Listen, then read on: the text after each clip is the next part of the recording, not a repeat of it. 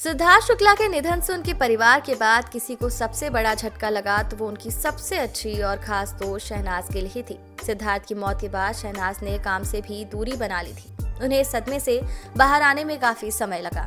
इस बीच शहनाज ने अपने प्यार को ट्रिब्यूट दिया। उन्होंने सिद्धार्थ शुक्ला के जाने के छप्पन दिन बाद अपने सोशल मीडिया अकाउंट से एक पोस्ट की, जिसमें सिद्धार्थ को ट्रिब्यूट देने की बात लिखी थी। इसके कुछ दिन बाद ही शहनाज ने अपने ऑफिशियल यूट्यूब चैनल पर वीडियो रिलीज़ की, जिसे एक दिन में करोड़ों लोगों ने देखा और खूब प्यार दिया।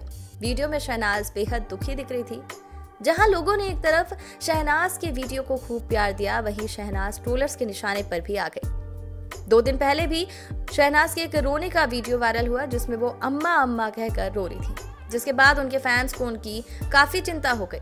अब शहनाज के करीबी ने शहनाज की उनकी माँ के साथ एक फ़ोटो शेयर की है, जिसमें वो अपनी माँ के करीब बैठी दिख रही हैं। आपको बता दें, शहनाज की माँ उनसे मिलने हाल ही में मुंबई पहुँची हैं। इस फ़ोटो में शहनाज के चेहरे से साफ़ पता चल रहा है कि वो कितनी उदास हैं। उन्होंने अपनी मुस्कान के पीछे कितने गम छुपाए हैं।